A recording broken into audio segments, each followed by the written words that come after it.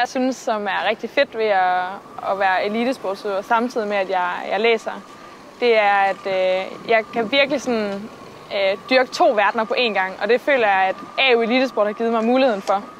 Øh, jeg er passioneret for både min studie og for min sejlsport. Øh, og at jeg kan få lov til at få de to ting til at gå op i en højere enhed, det er, jeg føler mig meget privilegeret og er meget taknemmelig over, at, at jeg har den mulighed. AU har jo det her øh, Dual Career-initiativ, øh, hvor man kan kombinere øh, sport og, og uddannelse. Og det gør personligt for, for mig, har jeg fået rykket mange eksamener og fået øh, undervisning øh, til at, at fungere, når det passede ind i min øh, kalender.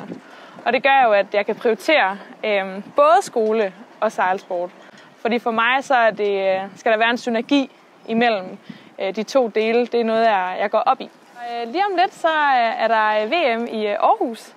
Og der er rigtig mange, som sådan siger, at det er hjemmebane. Og det er det jo også på en måde. Jeg, jeg sejler godt nok fra Horsens Sejlklub, men det er jo i Danmark. Øhm, og man kan sige hjemmebane fordel. Jeg ved ikke helt, om man kan snakke om det, fordi at sejlsport er virkelig øh, en kompleks ting. Men jeg tror da på, at fordi vi har trænet her i så mange år, altså kender vi lidt mere sådan de ting rundt om. For eksempel ting på land, og det, at man kan sove i sin egen seng, synes jeg er en rigtig stor fordel. Jeg synes, sejlsport det udfordrer mig helt vildt meget. Både øh, fysisk og mentalt, og også bare sådan at tænke hurtigt. Øh, fordi man skal tage så mange beslutninger øh, på kort tid og sådan at tillade sig selv at være intuitiv, samtidig med, at man nogle gange også skal reflektere over nogle ting. Og det spænder faktisk også øh, meget over ens med mit studie. Øh, jeg læser uddannelsesvidenskab på Aarhus Universitet, og øh, det, som jeg meget undersøger øh, på mit studie, når vi har nogle lidt friere opgaver, det er sådan forholdet mellem bevidst og ubevidst læring.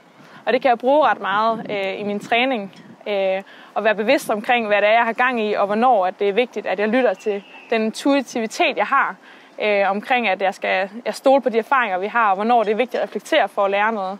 Så på den måde for mig, så øh, er både min uddannelse og det, jeg prøver at blive god til i, i sportens verden, det hænger faktisk rigtig godt sammen, og det er noget, jeg sådan har fundet ud af løbende, at det går mere og mere op i en højere enhed. Og det synes jeg, jeg synes, det er en fordel, og jeg synes, det er super spændende på begge platforme, og både gøre meget sådan i praksis, når jeg selv dyrker min sport, og så også, øh, når jeg er på, på studiet, og kunne faktisk analysere både mig selv, men også min træningsgruppe og min makker, og på den måde blive et endnu bedre team. Fordi i sidste ende, når man er to ombord på en båd og skal prøve at blive, til at blive rigtig gode til at sejle sammen, så er det sindssygt vigtigt, at man har et godt samarbejde i båden.